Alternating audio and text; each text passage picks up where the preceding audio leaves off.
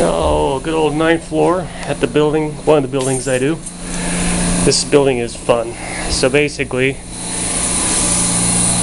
we are going to the west side chiller unit. So we gotta go up this steep stairwell. Well, actually,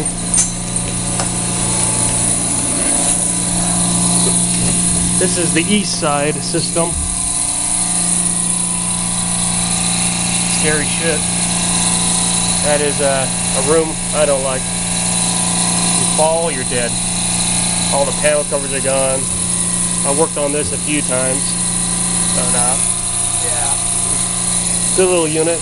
So that's for the west side. We're going, I'm sorry, that's for the east side. We're going to the west side.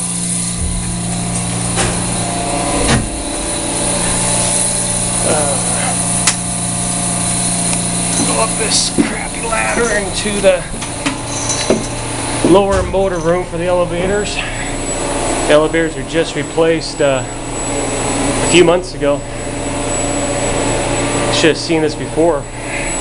There's like this banks of old contactors, everything from the 1930s and 40s. So this is nice.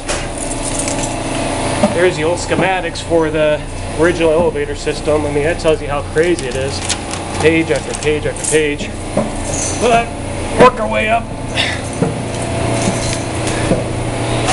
Is all the chemicals for the chillers feeding in to the feeders.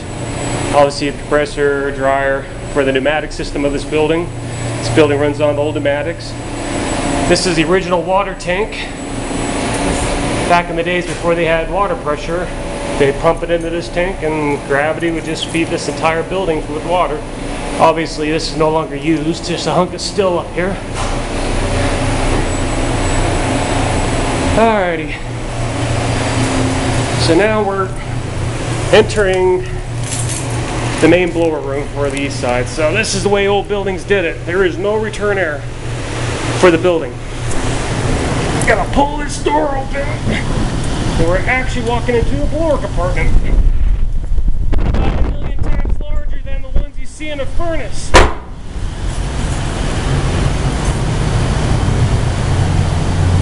So we are inside a blower compartment. Obviously, as we talked about, here's the old pneumatics.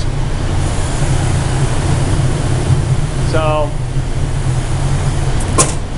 got our discharge air.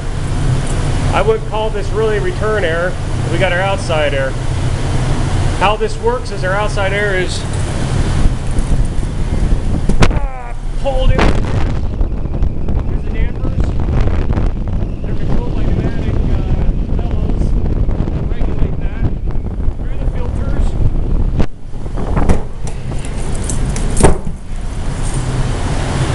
This building, prior to having air conditioning installed, so right here we got ourselves a, a 10 foot by 15 foot wide slab coil operated by liquid line solenoid valves to stage it.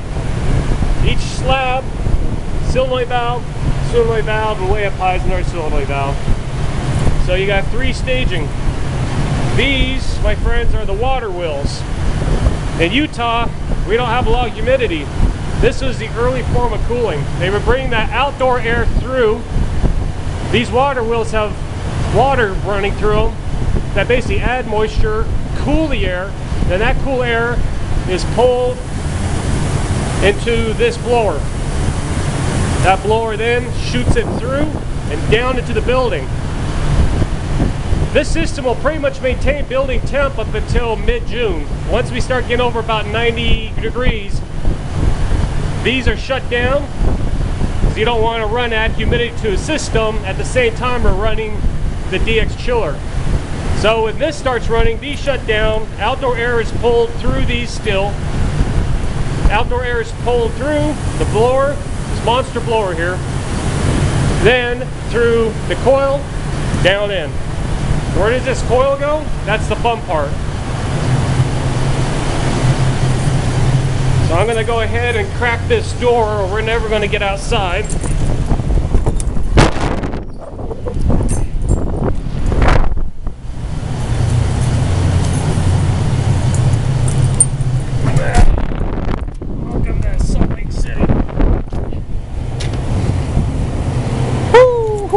You're afraid of heights, this isn't the place.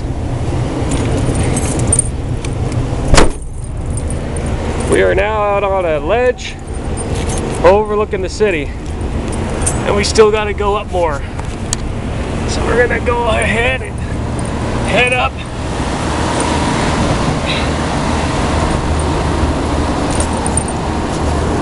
That's a drop you don't want to make. That's a ledge. Here's the air-cooled system. And a drop you don't want to make. So in the reference, we're up 10 and a half, 11 stories up. 10 story drop off this ledge. 10 story drop off that ledge. And this ledge isn't too bad because down below there is that device. Think of a swamp cooler, evaporative cooler at your house in the desert. Times it by five, 600. That's nothing but a big old swamp cooler. Big old chiller system that just cools the air, cools the water, sends it back to those water wheels to keep those water, uh, the water in the water wheels nice and cool when we're doing, operating that system. The reason I'm here today is